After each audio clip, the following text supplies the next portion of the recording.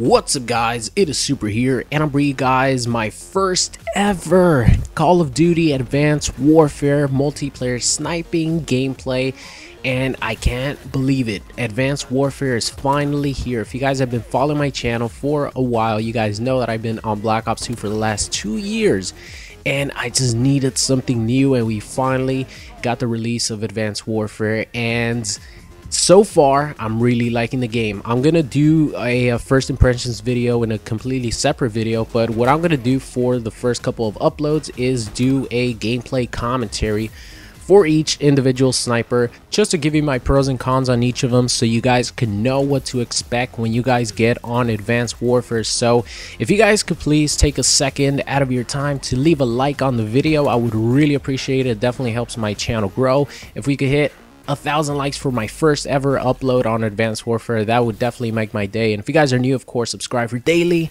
uploads. But now let's get on to what you guys clicked on the video for, the MORS sniper rifle. I could already tell you guys that this is definitely going to be the fan favorite sniper rifle. This is what you guys are going to be seeing from your favorite YouTubers or your favorite snipers, I should say. And this is the primary gun that's going to be used in like montages, gameplays, all that good stuff.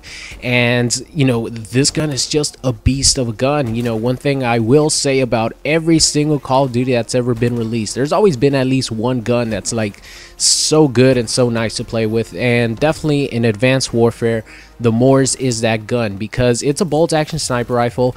It has no magazine no magazine so you never have to reload. I believe it has 23 shots that you could fire and every time that you shoot you put another bullet in the chamber and that's how it keeps going. So just imagine some of the streaks that you could go on. For example like a 23 man perfectionist that would be such an insane clip and it'll definitely make for an entertaining gameplay. But so far from my experience man the MORS sniper rifle is just a beauty of a gun to use.